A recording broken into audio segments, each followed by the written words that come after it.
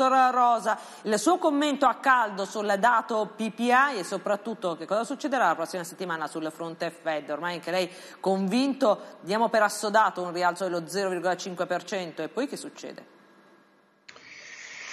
Sì, allora il, il, dato purtroppo ha sorpreso on the downside, come si dice, cioè eh, on the upside come numero, ma on the downside come sentimento, nel senso che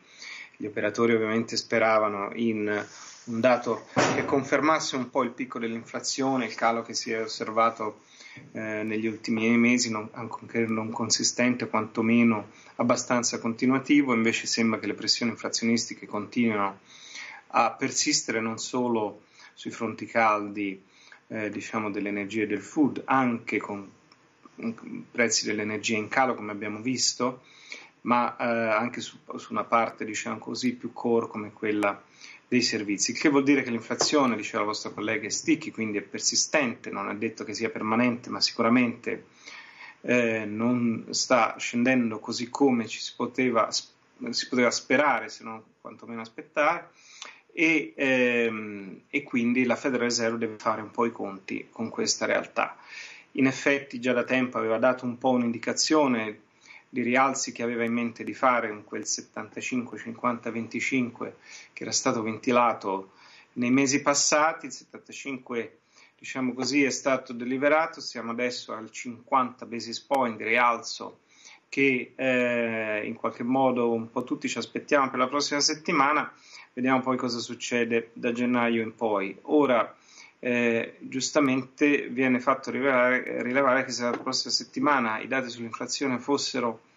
molto peggiori di quanto si possa desiderare, il rischio del 75 basis point increase, diciamo, esiste, non può essere certo um, diciamo, messo da parte. La Fed ha voluto mandare già da settembre scorso due, eh, segnali, diciamo così, in parte contraddittori, quantomeno il mercato li ha percepiti così, cioè da una parte certo. che aveva necessità di rialzare un pochino di più i tassi di quanto detto in precedenza, dall'altra però che il picco si stava avvicinando e che quindi in qualche modo il mercato poteva un attimo tirare un sospiro di sollievo. Nelle occasioni scorse la parte hawkish di questo discorso ha prevalso su quella dovish, vedremo come andrà eh, a dicembre. E allora sentiamo se ha idee chiare il professor Lorenzo Codogno, LC Micro Advisors, London School of Economics, autore del libro Crescita economica e meritocrazia perché l'Italia spreca i suoi talenti e non cresce. Ben ritrovato professore. Buonasera, buonasera a tutti. Professore, ha sentito l'analisi anche del dottor Rosa, il dato sulla PPI, l'abbiamo detto, ha sorpreso in negativo, ormai si stava parlando di una sorta di rallentamento della crescita dei prezzi. Allora, partendo dalla Federal Reserve e poi allargando lo sguardo anche alla Banca Centrale Europea, che cosa si aspetta la prossima settimana? Io direi che il mercato si sta innamorando un po' troppo dell'idea di una svolta, eh, il cosiddetto pivot. Eh, in effetti quello che probabilmente vedremo nei prossimi mesi è una svolta per l'inflazione headline, quindi un, un'inflazione che comincia a scendere, ma li, le componenti core dell'inflazione, al netto del, del, degli energetici e degli alimentari, probabilmente continuerà a salire ancora per un po'. Ricordo inoltre che negli Stati Uniti c'è una forte crescita salariale, non abbiamo ancora visto segnali di svolta veri e propri sul lato dei salari, quindi i rischi sono ancora elevati. Per questo motivo io penso che il rischio di 75 basis point di rialzo sia negli Stati Uniti che in Europa eh, sia qualcosa che dovremmo prendere in considerazione molto seriamente. Eh, ripeto, i rischi sono ancora elevati perché le componenti di fondo dell'inflazione sono ancora ben presenti e non ci sono ancora stati segnali convincenti di un allentamento e quindi secondo me in questa situazione le banche centrali non rischieranno Uh, di, di, fare dei passi falsi e quindi secondo me nel, nel, nell'incertezza faranno la mossa più forte.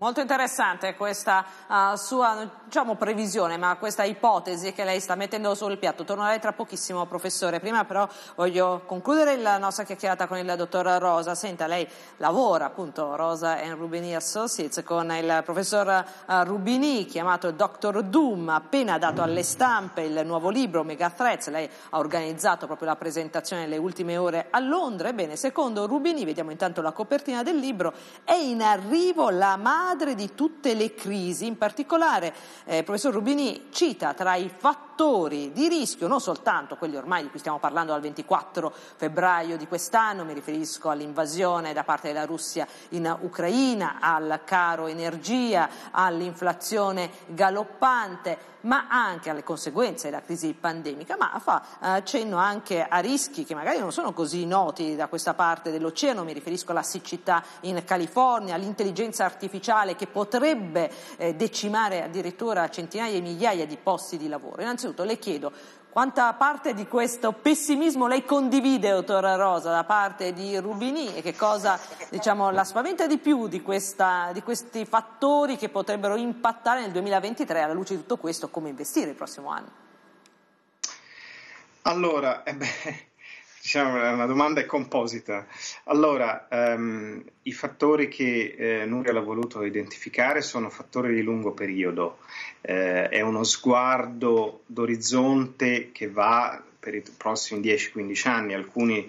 diciamo così, dei rischi elencati, eh, come quelli del cambiamento climatico, come quello della prevalenza delle AI, quindi dei robot, diciamo, sugli esseri umani nei posti di lavoro, eh, e, e, i cambiamenti geopolitici, la deglobalizzazione, la polarizzazione del mondo tra Stati Uniti e Cina, la balcanizzazione delle catene del valore eh, globali. Eh, questi sono tutti temi che si svilupperanno nel corso dei prossimi anni. Um, quale di questi sia prevalente Ovviamente eh, è difficile dirlo, oserei dire ci sono quelli più immediati, i rischi geopolitici sono quelli che ci stanno purtroppo in questo momento eh, più a cuore, più addosso, proprio con la cronaca di tutti i giorni. Ha citato lei proprio all'inizio della trasmissione da quanti mesi ormai questa guerra è protratta e purtroppo tra qualche settimana compirà l'anno. Um, quindi tutti questi sono fattori che contribuiscono a mantenere uno scenario eh, eh, stagflattivo, quindi a bassa crescita e alta inflazione, ma che rischia di innescare anche non linearità, diciamo così nel linguaggio un po' più accademico, cioè potenziali rischi di default, riprofi- eh, eh, dei debiti e così via, perché non tutto può essere risolto con una dose, ancorché massiccia, di inflazione, anche perché abusare dello strumento inflattivo per di fatto ridurre il valore reale del debito comporta a sua volta eh, dei rischi. Per quanto riguarda il prossimo anno, diciamo così, per rispondere alla, sua, alla seconda parte della sua domanda, non sono tanto questi i fattori che eh, contano, a meno che non stiamo parlando degli immediati rischi geopolitici di cui eh, ho, ho, appena accennato, che la, in particolare la guerra in Ucraina, ma anche ovviamente la divisione tra Stati Uniti e Cina e quindi l'impatto che questo ha sulle catene del valore e quindi sui supply shocks che abbiamo visto avere eh, un impatto molto forte eh, sul, sul, sull'andamento dell'inflazione, per esempio. Però i fattori più importanti saranno ancora una volta crescita e inflazione. La crescita sarà probabilmente molto bassa o negativa, si va verso molto probabilmente una recessione globale, l'inflazione rimarrà probabilmente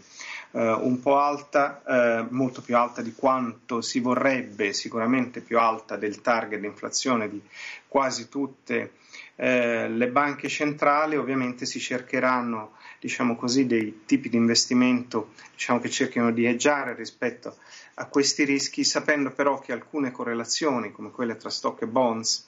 come sappiamo si sono un po' eh, rotte negli ultimi mesi, faranno eh, difficoltà a tornare eh, alla normalità fin quando questo scenario stagflazionistico eh, eh, proseguirà. Ecco, allora alla luce di questo, proprio in sintesi, dottora Rosa, come investire nel 2023 in questo scenario in cui la stagflazione lei l'ha citato, quindi su questo è perfettamente diciamo, allineato con il professore Rubini, la farà da padrona. Meglio azioni, meglio bond, il cash, Europa, Stati Uniti, proprio in un flash? In un flash allora eh, il, i classici diciamo, modelli di o rispariti o 40-60 in qualche modo forse potrebbero tornare eh, un po' più in voga nel momento in cui ci fosse un, un declino della, eh, eh, della domanda e che quindi si andasse a ristabilire la correlazione eh, inversa che c'è stata storicamente tra bonds e equities. Io comunque un equities per un edge sull'inflazione, la terrei, se ci fosse un calo dei tassi, bonds potrebbero essere comunque ancora un buon investimento, preferisco gli Stati Uniti eh, rispetto alla, all'Europa, preferisco eh, developed markets rispetto a emerging markets, infrastrutture sempre un ottimo investimento, in particolare eh, digital infrastructure, che sarà comunque un, un luogo in cui investire nei prossimi anni in qualunque scenario si andasse a realizzare.